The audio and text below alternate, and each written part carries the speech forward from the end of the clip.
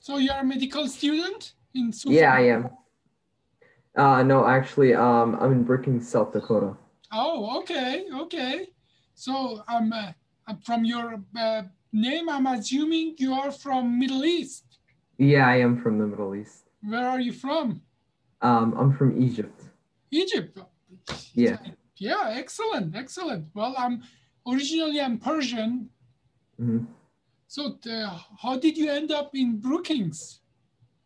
Um, well, we, um, my dad, he found a good opportunity here, so we decided to move to Brookings. Um, what does what does your dad do? my dad, he, um, at Egypt, he used to be a professor. He taught chemistry there, and now he came here and he's working at South Dakota State University. Excellent, excellent. Well, so nice to meet you, Hazem. How do you pronounce nice your last name, your first name? My first name, Hazem. Hazem. Hazem. Hazem. Okay. So how can I help you, Hazem? What's how can I help you? Mhm. So I would like to ask you a few questions. Um, Go ahead. about- Yep, neurosurgeon. Um, what do you, as a neurosurgeon, recommend to someone that wants to become a neurosurgeon to major and minor in college?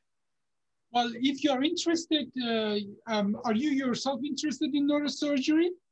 Yeah, I am. So obviously, biology is a very Mhm. important uh, uh, piece that you have to pick up in the Mhm. school.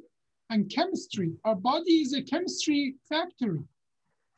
Is very important, but people underestimate how important physics is. Many of the things we do is physics.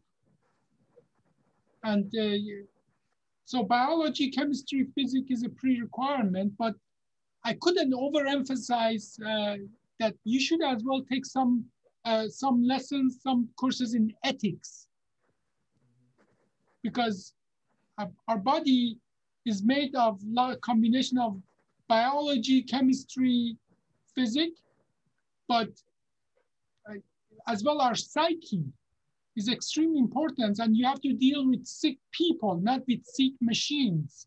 So ethics is a big part of what you need to as well pick up in your school if you're interested in neurosurgery or medicine as general. Now, obviously, if you're specifically interested in neurosurgery, what I told you is for entire medicine, but if you're interested in neurosurgery, neurobiology is a good start.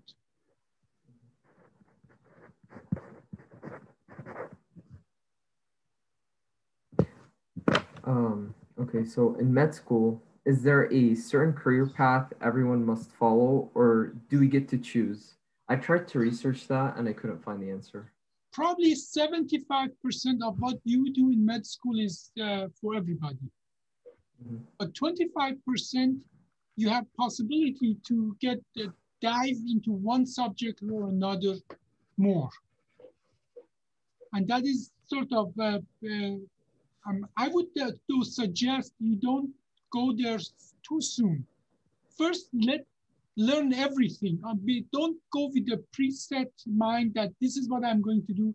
That sort of will set you up to neglect things that you think that are less important to you. But those, those general knowledge is extremely important for anybody to have. So I would suggest to everybody, even if you are, if you think you are set to learn one thing or another, go with an open mind and let uh, everything come to you in the first, at least first two years of the med school. Um, okay, um, what are some requirements of becoming a neurosurgeon, like license and schooling? Well, I I think the most important thing to be a neurosurgeon is attitude in life.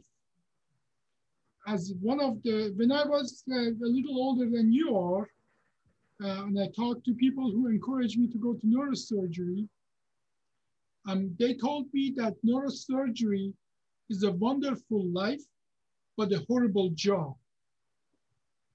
Depending on how you are taking it. If you're taking it as a eight to five job, it's going to wear you down and destroy you.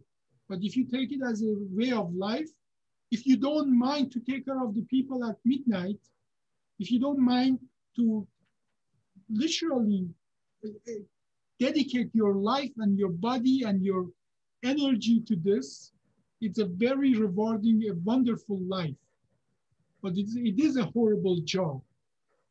So don't go to neurosurgery if you're just looking for a job. Go to neurosurgery if you're looking for a way of life.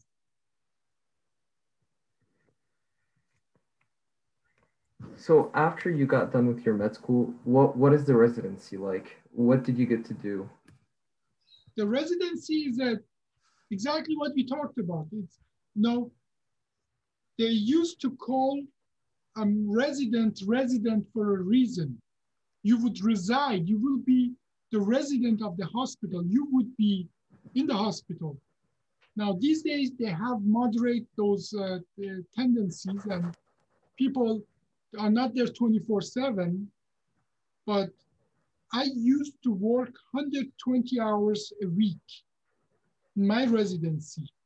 A week is 168 hours. I used to work 120 of that every week. Now they have reduced that to 80 hours and it's not as uh, intensive as uh, I went through that. But if, uh, again, if uh, you are looking for um, life work balance,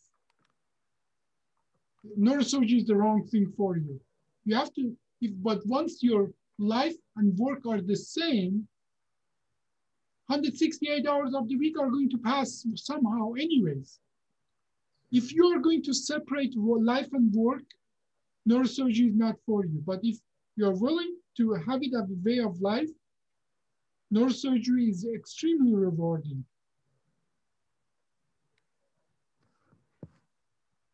Um, okay, so what is your favorite part about being a neurosurgeon? Like, is there anything really specific? You change so many people's life that I don't believe there are any other medical uh, discipline that they would have so much impact on actual people's life. What we are is not our heart or our muscles or hands. What we are is our brain is our nervous system. Our entire body is a vessel to carry our body. And as a neurosurgeon, you work with what the essence of a human being is. There's nothing more noble than that.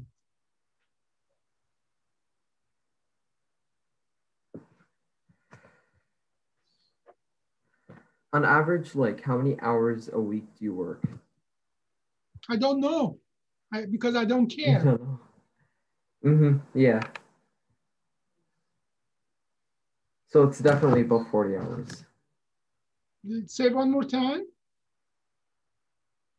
It's definitely above more than 40 hours, like the normal amount that a normal person works, right?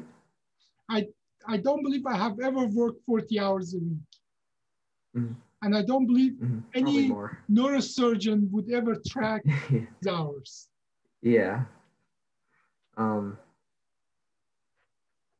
so when you became a neurosurgeon, um, what were your emotions like when you got to perform your first surgery?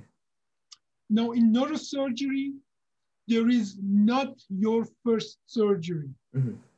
It is the transition is so smooth because what you're working is a brain or nervous system of a human being.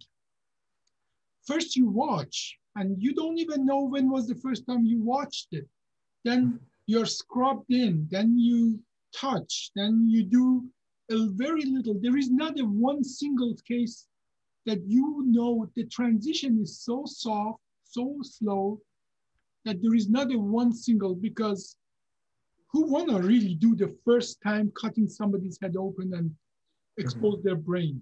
You don't want that. Yeah. If your patient doesn't mm-hmm. want that, your teacher don't want that, and definitely you don't want that. The mm-hmm. transition is so slow and gradual. There is no first time. The same thing that you know, what was there first, egg or chicken?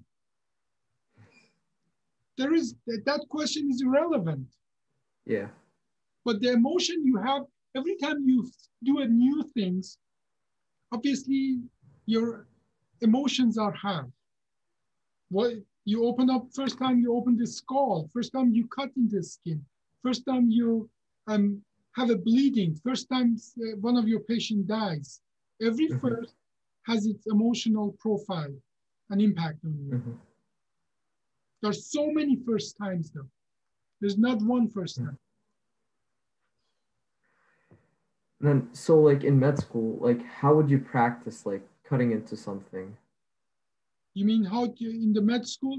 Well, in the, yeah, in the medical. The first thing you cut is a mannequin or or model. This mm-hmm. is again medicine. The threshold for mistake is so uh, low. The threshold to accept the mistake is so low that everything is uh, taught gradually in multiple layer with multiple layers of security and so on. So you just have to trust your med school to guide you in that. Don't try to make your own schedule. Let them mm-hmm. let them guide you.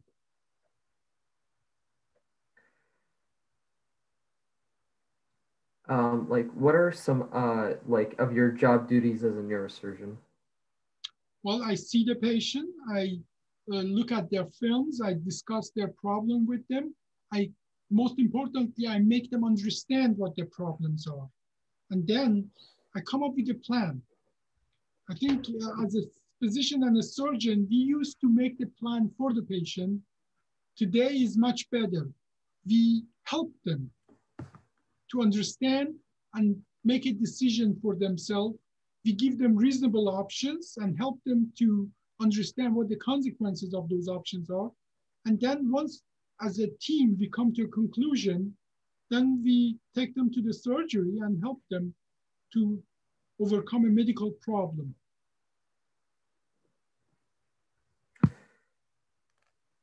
So, um, quick question. After your residency, is there like still like more training that you have to do?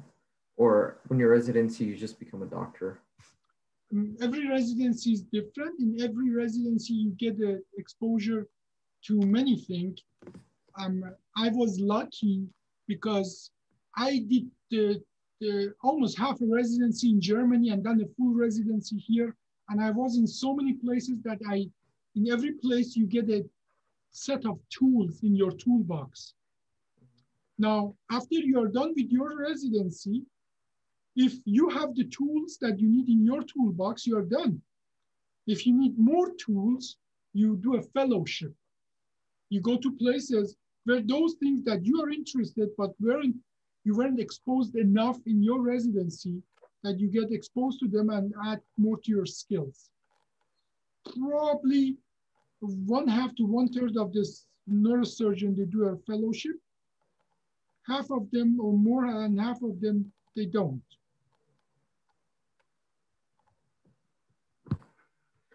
Um,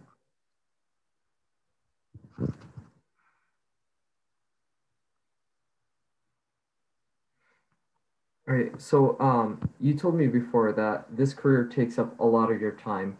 Is it to the point where you do not have like time for your family and like hobbies, uh, things like that, or do you like have time? Well, um, you know, the life is made of 24 hours a day. Yeah. I don't understand the concept of not having time. Mm-hmm you prioritize, you put priorities in your life and assign time to those things. And uh, so if somebody tells me that I didn't have time for tennis, that is nonsense. You have 24 hours time a day. You just didn't put tennis on the priority list. Now, certainly you have to put priority for your family and life and private life to some extent. But uh, if um, you want to have 40 hours week job, a job, neurosurgery is not for you. Then you have to prioritize, you know, that you go to a movie theater. Um, I haven't watched TV for 12 years. I literally have not watched TV because TV is not that I don't have time for TV. TV is not on my priority list.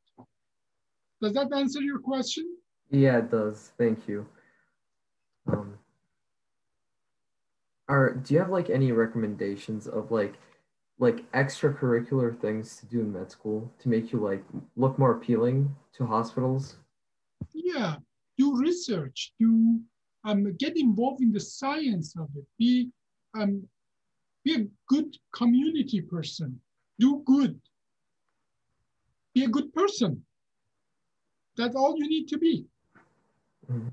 to make yourself more appealing to in any job, but more so in medicine, because uh, we need dedicated people.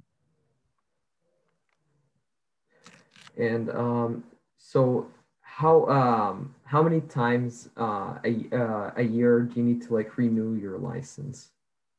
Well, there is not only one license. There is a license to practice medicine in a state. That is usually done once a year or every two years.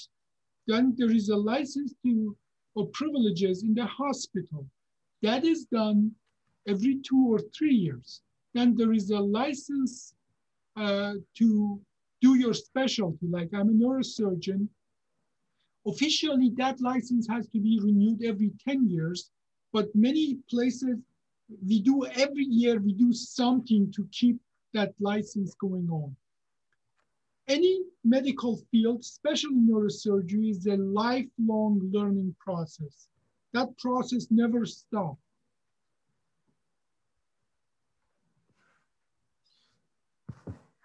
And um, so right now I'm in college and I am I'm a freshman and I'm majoring in human uh, human biology.